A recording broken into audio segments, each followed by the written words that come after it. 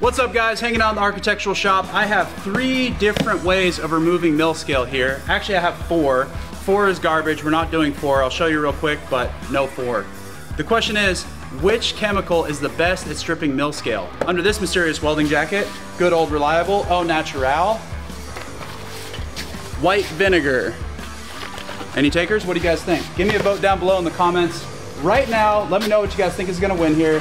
Number two, muriatic acid. Oh yeah, this is the good stuff. Get it at your local hardware store. Very dangerous. Don't wanna mess with this stuff. And under door number three, bam, we have Pickle X20. If you guys are familiar with P&O, pickled and oiled steel, this might look pretty convincing. It's called pickled. That's how they get the mill scale off at the mill. So let's see which one of these three chemicals is gonna strip mill scale off the fastest.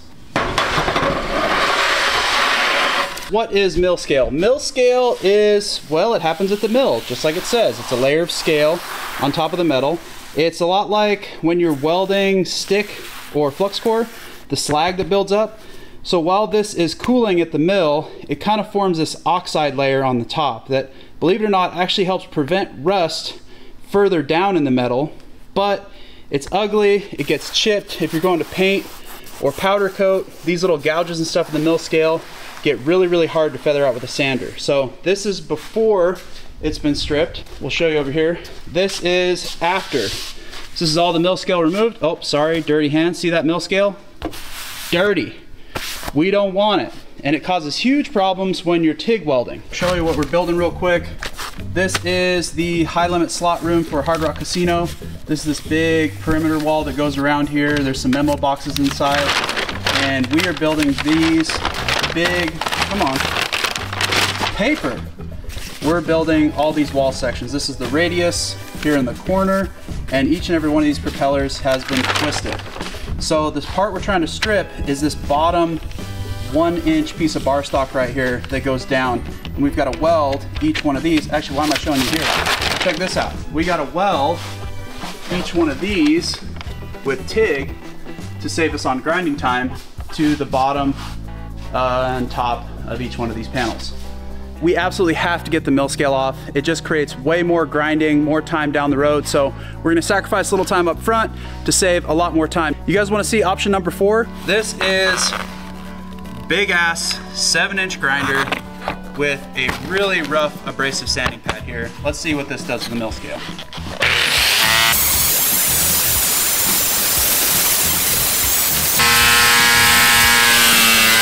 See why I don't like option number four? Absolute hot garbage. The sandpaper is already getting gummed up and worn out, and we have removed almost nothing.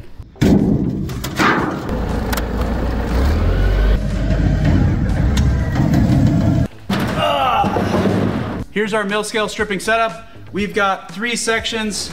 I split them up with some saran wrap I had down here to kind of hopefully keep these separated. And then I lifted it up with some dunnage off of the bottom of the tank we're also in a tank, we're dealing with acids, all kinds of real gross stuff we don't want on our concrete. Muriatic acid will definitely strip, etch, deteriorate your concrete. I have no idea about that Pickle X stuff.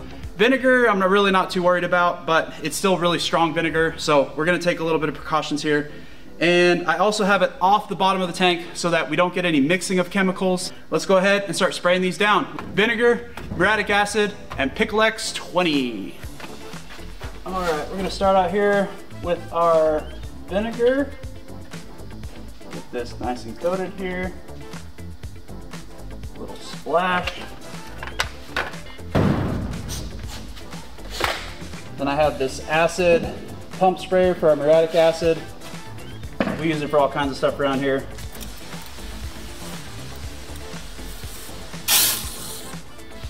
All right, and then our Pickle X90, which is actually green. So that's kind of cool, pickly.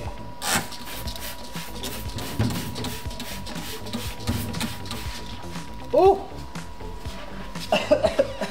okay, there's some weird chemistry going on in there. You do not want to take a hit off of that thing because, yoosh! Now it's a big waiting game.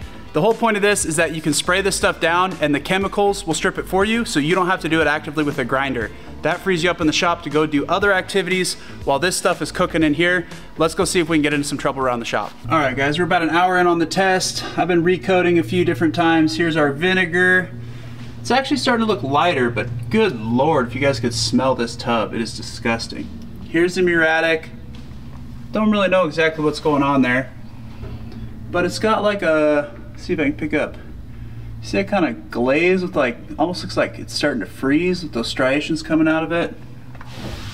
And then here's our Pickle X.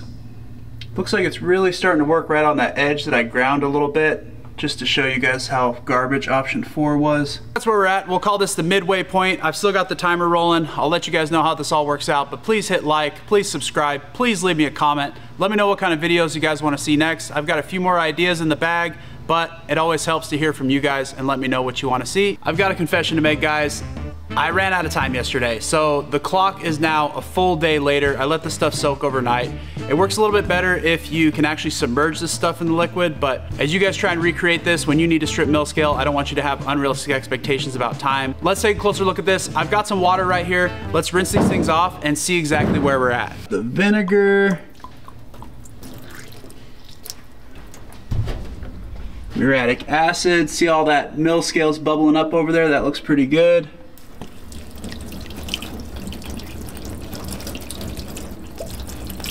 Look at that mill scale is all just peeling away right there. And then our Pickle X. Oh, we got some mill scale peeling on that side, but nothing really over here. I say we give this thing one more squirt and another hour. Oh my God, I can already smell it. Whew, I had to hold my breath. That vinegar, I don't know what it is. It should be the least caustic in that bunch, but the smell coming off of it wafting out of here. It's just like radiating out of this bucket of soup in here. It's no good. I don't like the vinegar. Are you guys ready for the big reveal? Let me know what you guessed below. If you guys didn't guess earlier in the video, now's the time. You've got some good hints. You've seen how it's kind of progressing along. What do you guys think? Number one, vinegar. Number two, muriatic acid. Number three, Pickle X20. Put your number down in the comments below. Let's kind of make it a little game. If you guys do powder coat in your shop, I highly recommend a heated pressure washer. Hotsy, I think, is the best. Let's get the top going.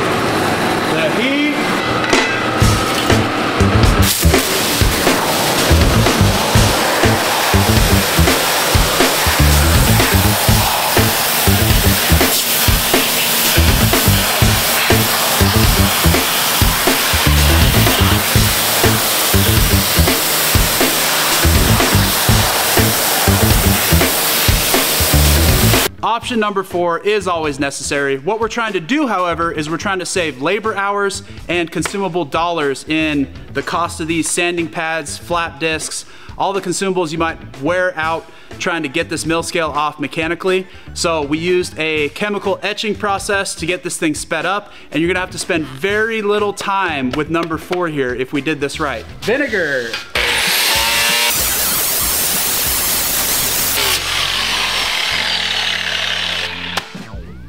So you see, we got the edges started to wear through where the mill scale was probably thinner and we had our heat affected zone from our laser cut, which sometimes gets underneath that mill scale and starts to flake it up. Looks like the vinegar got under here at the edges, but really did nothing for the middle here. Maybe thinned it out a little bit.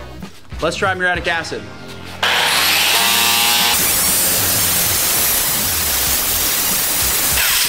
I can't say it's absolutely disappearing underneath the sandpaper, but it's happening really, really fast. Check this out.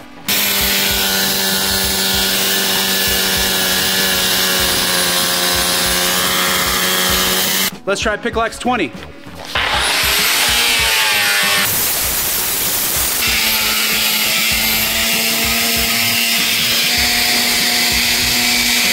Look at this. Nothing. Muriatic acid, shiny, Pickle X20. You guys probably can't smell this, but I can smell the paper burning on the sandpaper right now. This is really, really aggressive. A lot of friction, a lot of stock removal, but it's still not doing jack to this Pickle X20. If you guys haven't figured it out already, the winner is muriatic acid, straight from the hardware store. good old reliable, trusty stuff. It was fun to try out this Pickle X, and actually I read the description a little bit closer after getting the bottle. I just ordered it because it said pickle on it, and I know, you know, pickle and oiled steel is usually what we like to order. They just don't make it in this one inch thick sheet metal that we needed for this project for the laser, but I was looking for a better way because muriatic acid honestly is dangerous really for your eyes. The fumes are no good. You can kind of burn your lungs with it. And I was looking for some other alternative. This is actually supposed to convert the mill scale into a weldable surface after treatment, not necessarily strip off the mill scale. So it is a mill scale treatment. I haven't tested it. If you guys wanna see that in a video next, we can do a untreated versus Pickle X20 treated mill scale for the TIG welding process and see if we still have the usual porosity, pinholes, inclusions, the crap and dirt that's left in that mill scale. Let's see if this actually does convert it, but that's a different video. I really, really hope that helped you guys out in your shop. Save some time, save some money, make some more profit. Hit like, hit subscribe, follow the channel. It's Hero Machine Co. I don't know, was that cheesy? It was kind of cheesy, but whatever, I'm cheesy.